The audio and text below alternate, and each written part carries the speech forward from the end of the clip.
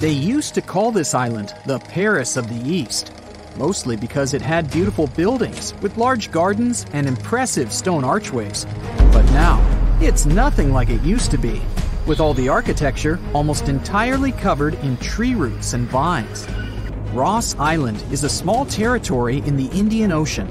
It's located east of the Indian city of Port Blair. Though initially thought of as a jail, Ross Island eventually became a luxurious resort for the local administrators. They called this island a real treat for its more privileged residents. It boasted opulent bungalows, stained glass window panels brought all the way from Italy, neatly kept gardens, tennis courts, and even swimming pools. Soon after the complex was closed in 1937, a powerful earthquake hit the island. It caused a lot of damage, making it even more uninhabitable. The island is now in the administration of India and has become a tourist attraction for people interested in abandoned towns. Pieces of German architecture still lie hidden in the Namibian desert. The city of Kolmanskop, Namibia, was a luxury location at its peak in the early 1900s when German workers settled here looking for diamonds. This abandoned town used to have everything from a ballroom to a hospital and even a bowling alley.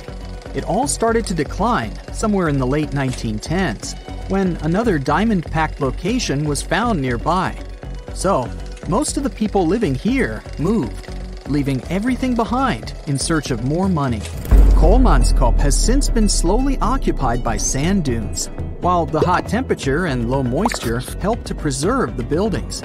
This ghost town is also available for visitors. If it sounds interesting, you can book a tour in the nearby town of Lüderitz. Another abandoned castle dominates the view in Craco, a city in Italy. The whole village sits atop a cliff that's 1,312 feet high. The founders liked this location since they knew it would be easy to defend themselves from unwanted guests. But the castle, built in the 1300s, soon became overwhelmed by landslides and earthquakes. Even though it has no residents anymore, the medieval city often comes alive during the various local festivals that take place here in the summer months. The locals also offer tours and tell amazing stories about the location. One of the highlights of the tour is a statue that seemingly came out of nowhere and now lies in a body of water. Hidden away in the Montana mountains, Garnet Ghost Town tells the well known American story of the West's gold rush. The town's history goes back to the 1890s when they found a lot of gold in the Nancy Hanks mine. During its glory days, Garnet had almost 1,000 residents. Even though it's in a relatively secluded location, it had saloons, hotels, stores, a school, and other features of a regular little town. In 1905, when most of the gold had already been taken away, most mines were left behind, so only a couple of hundred residents stayed in Garnet. The final straw came in 1912, when a fire damaged most of the town's buildings. So, by the 1940s, Garnet was completely abandoned. It soon became a hotspot for treasure hunters looking for furnishings and artifacts. That was until a preservation campaign started in the 1970s. It ended with the town being declared a historic district in 2010. To this day, Garnet is one of the best preserved ghost towns in the area. Hashima Island is another abandoned location that tells us that when people leave, nature takes over. This mysterious place was even featured in a James Bond movie because of its ghostly landscape. It used to be a well known spot in Japan for undersea coal mines, as it was opened in 1881. In 1959, at its peak, there were over 5,000 people living here, including mine workers and their families. As soon as the mines started going dry, sometime in 1970, people started to slowly depart the island leaving it completely abandoned in three months. Even though nobody lives there these days, there are a lot of tourists here that drop off to wander around the abandoned homes, swimming pools, stores, and factories. Another town that started with a mining company back in 1881 is Calico, California. People discovered the location was packed with silver, so it soon became home to over 500 silver mines and 3,000 residents. It used to feature hotels, general stores, restaurants, and a school. There was even a local newspaper printed here called the Calico Print. But by 1986, the town had become empty. One of the former locals decided to buy it and began its restoration, making it a registered historical landmark. It even has a museum of the Old West available for tourists. One of the most interesting attractions that were rebuilt is the one mile long Calico and Odessa Railroad. It currently goes through the steep canyons and hills and even passes the old mines and buildings north of Calico. Approximately one third of the town is original, while the rest consists of newer buildings that are replicas meant to recreate the spirit of its past. If you're a fan of cars, you might have heard of Henry Ford as the famous American industrialist who founded the Ford Motor Company in 1903. But in 1927, he began working on another one of his ambitious dreams Fordlandia. It was supposed to be a massive rubber plantation located near the Tapajos River in Brazil, since he needed a reliable source of rubber for his car tires and hoses. His vision was to design a town complete with swimming pools, a golf course, living bungalows, and even weekly square dancing sessions for the locals. This project was unfortunate to begin with, since the local rubber trees soon got infected with leaf fungus. Even though Henry Ford invested a staggering $20 million into this potential income source, the town failed to produce the needed rubber. He had nothing left to do but to sell it to Brazil in 1945, and soon it was completely abandoned. Many of its buildings are still standing, but have been taken over by the surrounding nature. You can still see curious tourists wandering through it to this day. During its glory days, Hampi was the second largest city in the world. Looking at its ruins today, it's hard to imagine this Indian city used to be filled with temples and bazaars, and that it served as an important center of the Mauryan Empire in the 14th and 15th centuries.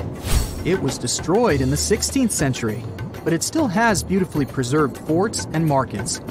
It became part of the UNESCO World Heritage in 1986, aiming to protect its buildings, such as the Lotus Mahal, a stone structure that was carved to resemble a lotus flower opening to the sun. A tourist village was constructed back in 1920 along the shore of Epecuén, a salt lake about 370 miles southwest of Buenos Aires in Argentina.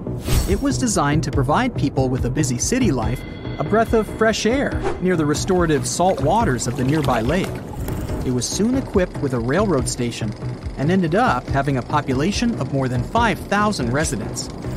The project was also destined to fail soon enough as the unusual amount of rain at that time caused Lake Epecuén to swell.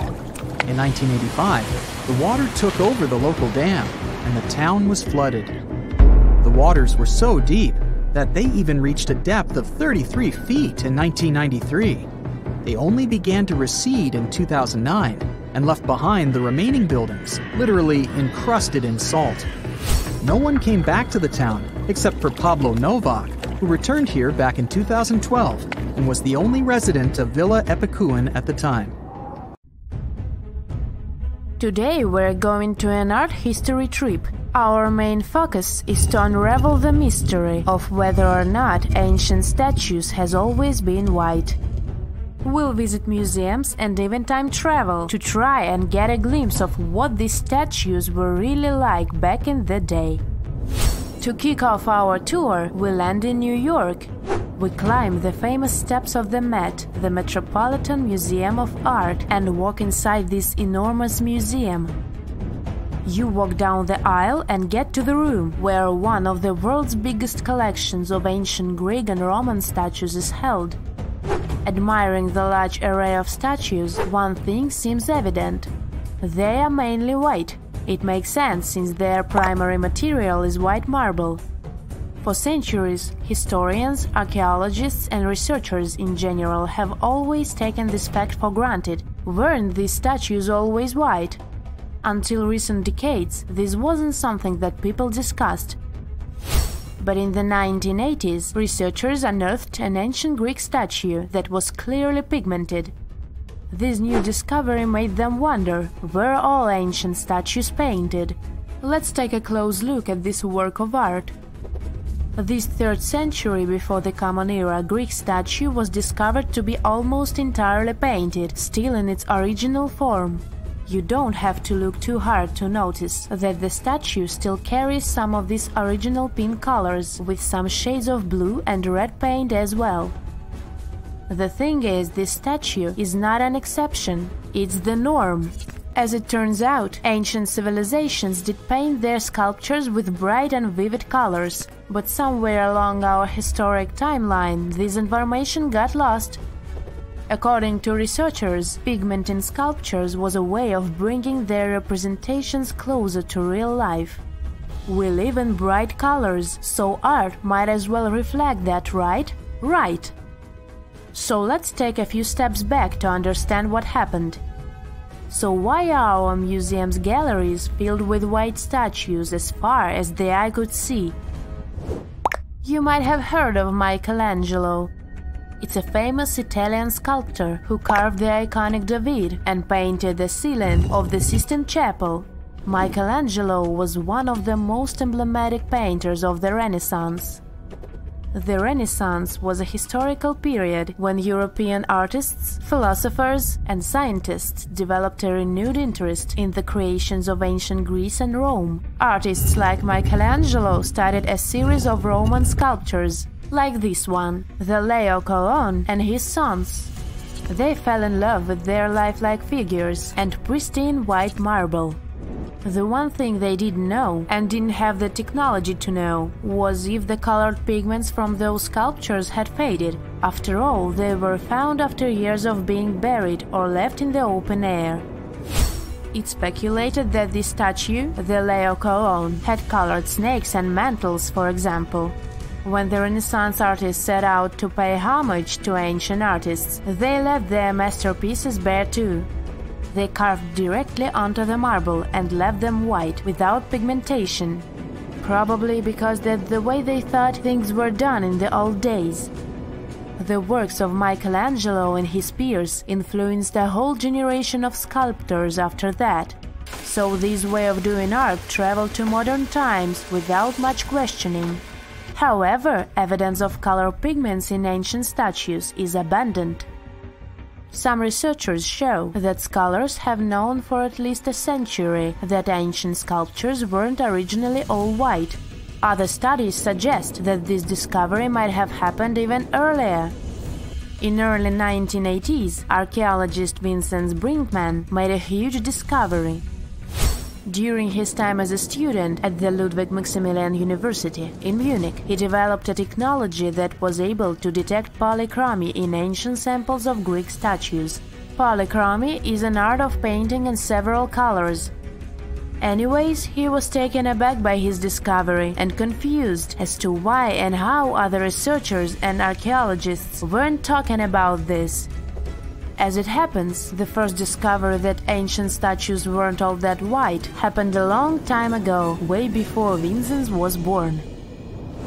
It happened during the unearthing of Pompeii back in the 1700s.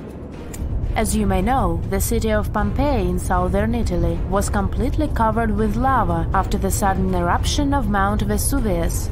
The city was destroyed, but the clouds of ashes that arose from the lava managed to preserve a lot of the city's structure through time. Thankfully for art historians and archaeologists, Pompeii became a digging ground for understanding ancient Rome. Researchers found several conserved frescoes that depicted scenes of daily Roman life. In one of these paintings, an artist is seen painting a sculpture. This fact was recorded by a very famous art historian known as Johann Joachim Winckelmann. He is also considered the father of art history. Now let's take a closer look at another famous statue. To see this one in person, you'll have to fly all the way to Rome and visit the Vatican museums. The statue you're looking at is a classic representation of Caesar Augustus. In case you didn't know, he was the founder of the Roman Empire and the first emperor of Rome. He is important. The sculpture you're seeing is called the Augustus of Prima Porta. You may have seen this before, probably in a history textbook. The thing is, it's always depicted in its white marble form.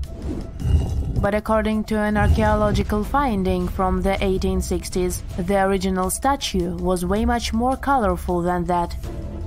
According to archaeologists, the statue of Augustus de Prima Porta has a crimson tunic, yellow armor, and a purple mantle.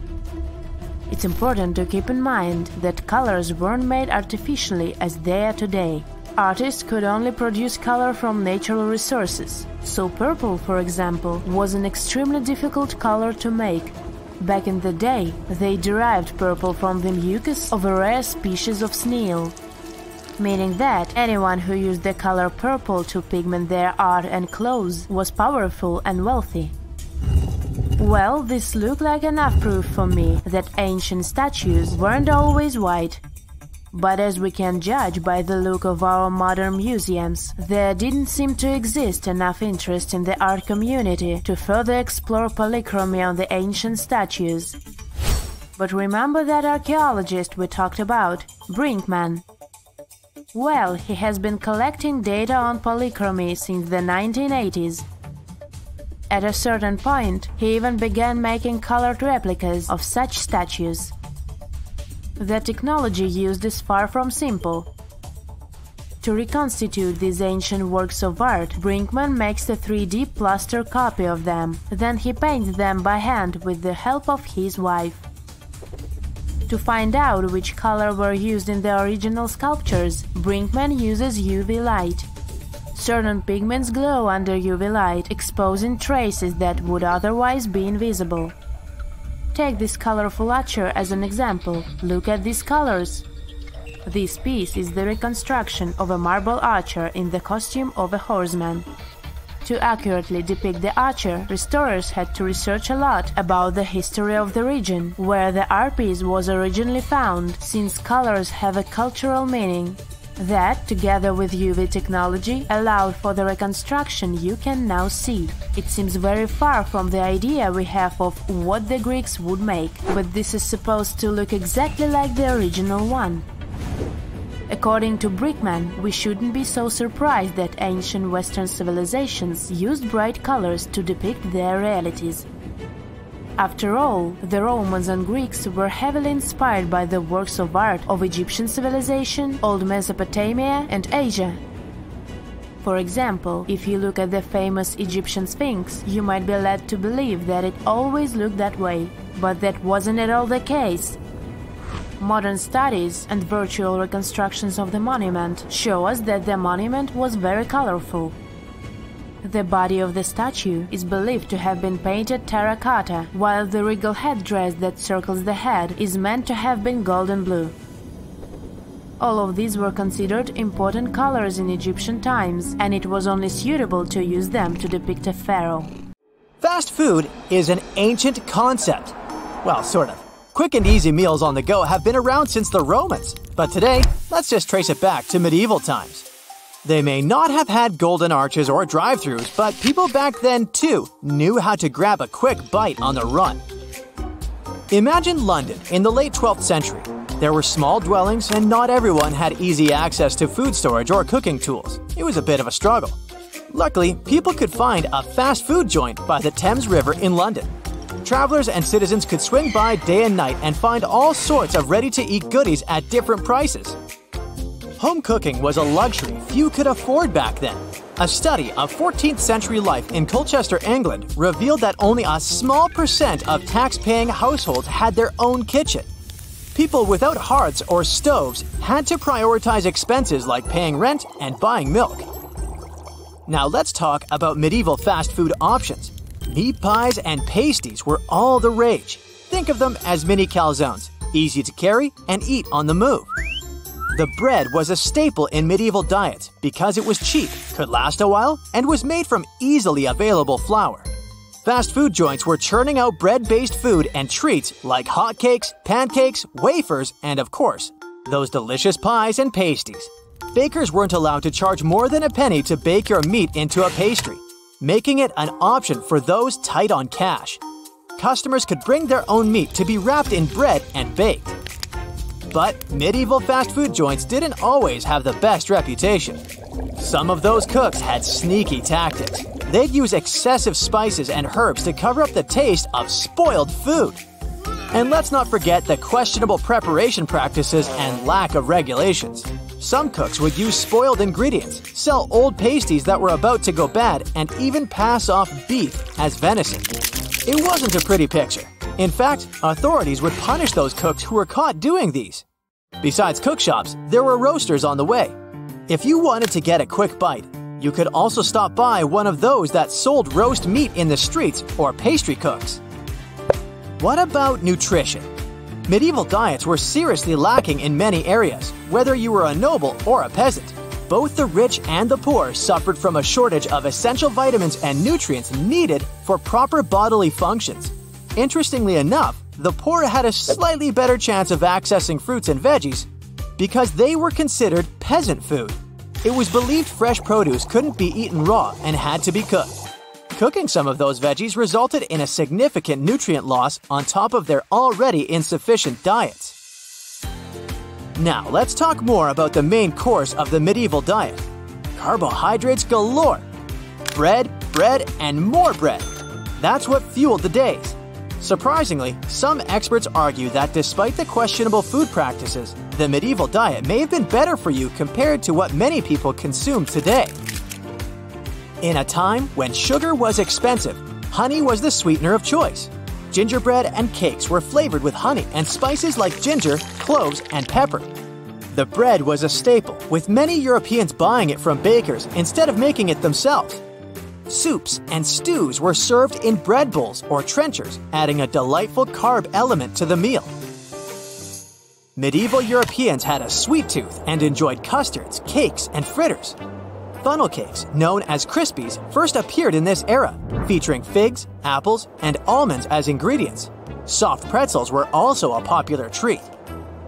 As I mentioned earlier, cookshops were the primary hubs for street food, and they were usually permanent structures clustered in specific areas. These shops varied in size, ranging from cozy to spacious, and they were often attached to dwellings. The regulations governing cookshops were minimal, requiring only signage, Plus, the food sold there had to adhere to town standards. Interestingly, some women operated cookshops right out of their homes, either selling food directly from their doors or setting up a special room where customers could enjoy their purchases. While cookshops couldn't sell raw food or offer lodging, pie bakers had their own dedicated shops.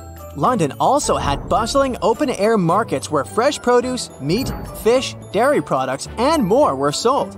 It's possible that smaller scale food vendors operated in these markets with less permanent setups. Additionally, there were heroines known as hucksters. These fabulous ladies played a significant role in food distribution in medieval hmm. cities, especially when it came to selling goods to the less fortunate. Hucksters operated on a small scale, buying goods to resell and often moving around the city, enticing customers with their tempting offerings. They sold a wide variety of goodies, including bread, ale, fish, grain, and vegetables. Usually, hucksters worked in impoverished neighborhoods. If we consider that there were no cooking facilities in such areas, it's possible that hucksters also sold prepared foods to feed hungry bellies on the go. They were the superheroes of street food. Of course, cook shops weren't just in England. In the past, the distinct regional specialties that we see in modern cuisine weren't well documented. Instead, what set medieval cuisine apart were the cereals and oils that influenced people's diets across different ethnic groups and, later on, national boundaries. The variations in eating habits across different areas were mainly due to differences in climate, political administration, and local customs throughout the continent the climate was generally too harsh for growing grapes and olives in areas like the British Isles, northern France, northern German speaking regions, Scandinavia, and the Baltic regions. Olive oil was widely used in Mediterranean cultures, but it remained a costly import in the north. People in the northern regions often used poppy, walnut, hazel, and filbert oils as more affordable alternatives. Butter and lard became more readily available, and were used in significant amounts in the northern and northwestern regions. One ingredient that was nearly universal in middle and upper class cooking throughout Europe was almonds.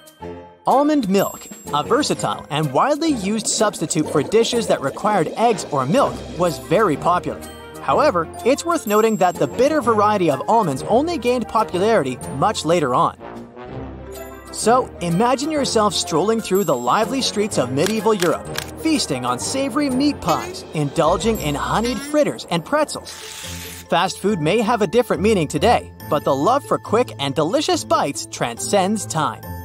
Instead of food courts, there were bustling marketplaces where vendors sold piping hot pastries known as chewits or pasties. And let's not forget about the main medieval fair treat, fried dough.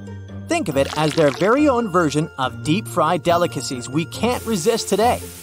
They would fry up doughy delights, sprinkle them with sugar or honey, and voila, instant sweet magic. People kept it simple with ingredients like dough, meat, veggies, and spices. None of those fancy artificial additives, preservatives, or unhealthy trans fats you find in modern day junk food. Medieval fast food was different in terms of preparation methods, too. It was all about homemade charm and personal touch. People used traditional techniques like baking, frying, or grilling, putting their crafty hands to work. No industrial processes or standardized production methods like at today's junk food factories. I mean, let's face it, medieval fellas didn't have the same nutrition knowledge we do now. They may have indulged in their junk food, but they didn't intentionally engineer it to be addictive or super harmful, unlike today's junk food, which can be loaded with artificial flavors, sweeteners, and unhealthy levels of salt and fat. When we say modern fast food, we also need to include the marketing side. These days, you can't escape the bombardment of advertisements. It's everywhere, from fast food joints to convenience stores, shouting for your attention. But back in medieval times, junk food was more of a local affair. You had to wait for special occasions like fairs, markets, or festive gatherings to get your hands on some tasty treats.